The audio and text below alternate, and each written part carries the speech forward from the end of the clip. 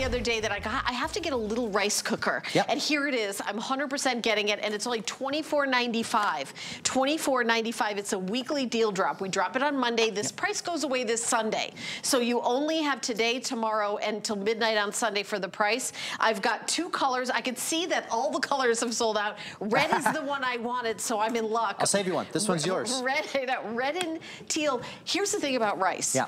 Uh, it, to me, I know it's like one cup of rice yep. to uh, two parts water. Is is it? But how long do you cook it? And, I end up staring at it. Yes, and you're worrying: is there going to be leftover right? liquid? Do I let it steam? Do, do I, I add more it? liquid? Is it not done? Did I take it off too soon? You know, I've met a lot of great home cooks who actually have a hard time with rice for whatever reason. yes. So I think you're one, Helen. And this kind of removes the guesswork from cooking rice or grains or oatmeal or quinoa or brown rice. It does all of that. Do you rinse your rice? I do rinse my rice. And here's the difference. If you don't rinse your rice, you'll get a sticky rice, which is great.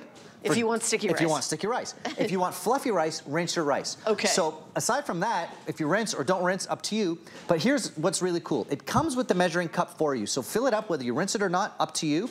And then you add it to this non-stick pot that we kind of provide with it. Is that one cup? This is this is not exactly one cup. This is about three quarter cup. Okay. But we always give you the instructions and the recipes. So okay. when we say one cup, we mean one of the cups provided. Okay. Okay. And then you see a measure on the inside, guys. You see this?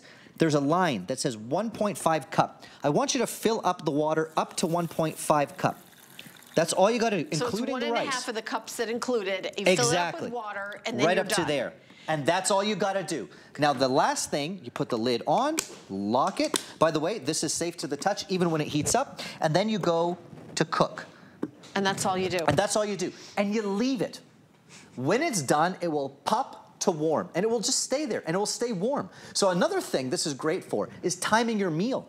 So yeah. a lot of times people will make the rice, even if you make it perfectly, it'll be cold by the time you're done your chicken or your salmon or your beef.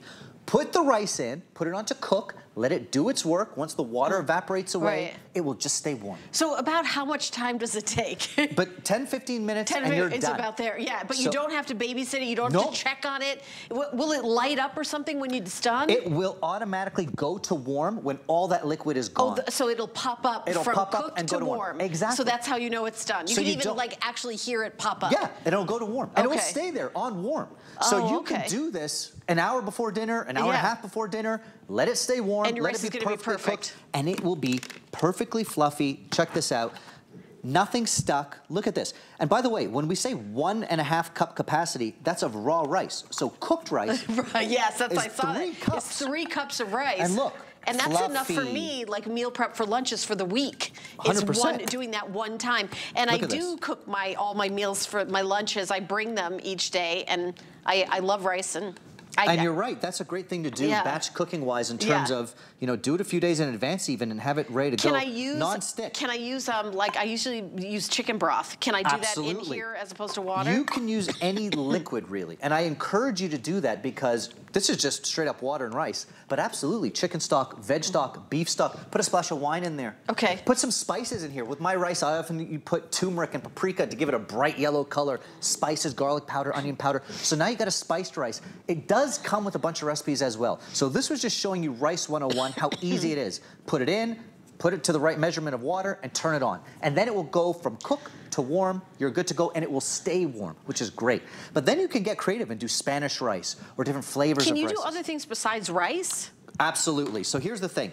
Check this out. I love the warm button because you can just bring up a, a bowl of chili or soup and keep it warm right? A way more delicate way to bring something up than, say, zapping it in the microwave, right? So you could just use it to heat up your chili and leave it hot. Mm -hmm. I love that warm function because you can leave it on for an hour, two hours, and it just kind of keeps it warm. Imagine game day if you put a queso sauce in here or that chili table side and you leave it mm. to dip your chips into the yeah. warm cheese sauce, right? The worst thing is when you have this beautiful nacho cheese come game day and put it on the table and then it kind of congeals and, and cools down. So leave it just to keep stuff warm, right? But another thing I mentioned is not just for rice. Cooking rice is the same principle as cooking quinoa or oatmeal or brown rice. It's about ratio and making sure that it's all done correctly. So quinoa with some ah. leftover veggies that I have from my master dicer, yes, yes, yes. You can kind of cook your quinoa and different grains that you're having a hard time with. Is there a recipe to what the ratios And there's are? all recipes, oh, yes. okay. Because I have to be honest, I'm not sure what the ratio is with quinoa. And, and that's a great question. In the recipe book, we provide all the different ratios. For example, there's a bit of a different ratio with brown rice than white rice. Oh. But it's Oh. no problem. Once you have that recipe book that Okay. we give you, you just have those inside lines that I showed you to measure up how much water for how much rice, put it on, turn it on, and walk away. And there's no more guesswork. There's no more, do I have to let it steam? Do I have to let it sit for a mm-hmm. bit? None of it. Once it's done cooking and all the liquid has evaporated away, it goes from cook to warm and stays warm. All right, we've warm. just got two more minutes. I want to see what else you're making in this. Check this out. You could even do a meatball. Just bring Oh. up your oh. meatballs up to temperature and some tomato sauce. And again, leave it warm. So this comes down to timing your recipes again. Sometimes we have one aspect of the dish perfectly warm and everything else gets cold. Right. This isn't just for rice or quinoa or oatmeal, although it's great for